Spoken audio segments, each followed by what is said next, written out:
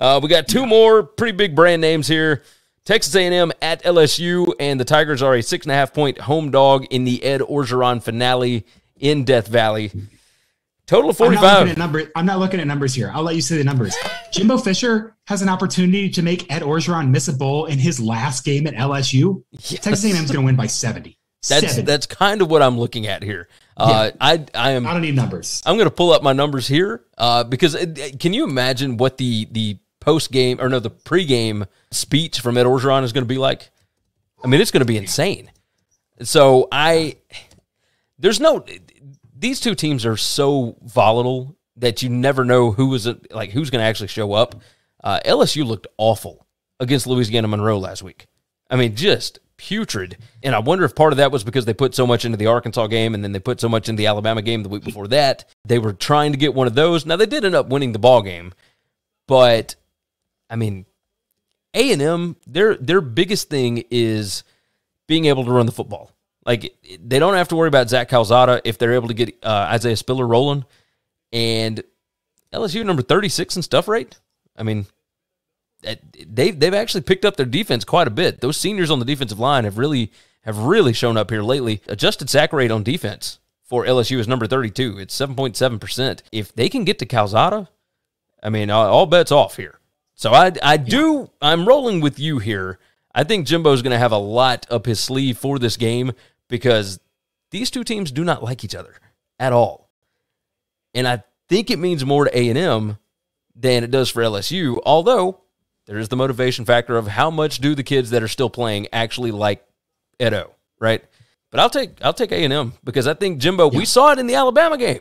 He he hides stuff. He keeps stuff in his back pocket for these ball games, and that's that's what I'm betting on. I'm going to roll A&M, I think just like you. So Yeah, I, I just don't see a world where LSU moves the ball. I mean, like with with with um, what's the what's the kid's name? forget my- Grant? No, not Grant. It's it Scott's was kid. Max Johnson, and then Uh, Nussmeier. Nussmeier. Garrett Nussmeier. yeah. So Yeah. whatever they're doing at quarterback, like they don't have an athlete. They had some interesting ideas. Like last week against, I'm not putting a ton of stock in because that's like that's second that's spring semester senior year. Edo is like, I'm not doing that shit. Like I'm not I'm not game prepping for ULM. We're gonna win. It's fine. Sorry for cursing. Um, but you're yeah, so like it's I just I mean A&M's defense is fourth in EPA. They're they're 12th in passing success rate allowed. And sure, they're 66th in rushing success rate allowed, but LSU's offense is 100 in success rate on rushing. So Yeah. They're not going to move the ball. And you, you, the Jimbo son of a gun factor here wins out for me. I'm taking A&M. Mike Elko, number five, defensive points per drive. Number three, defensive points per play. They are awesome. I mean, they, they Mike, are Mike just- Elko coaching for a job? possibly, but I mean, at the same time, why leave?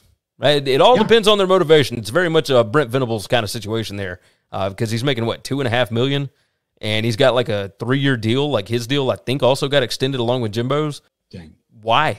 Like, why why go take one of these smaller jobs when you can stay at A and M and just produce ridiculous athletes on the defensive side of the ball? Yeah, I mean it. it now, it wouldn't surprise me because I I have also seen Gus Malzahn go take a pay cut to be the Arkansas State coach to come back to Auburn, but obviously Auburn's a little bit different situation.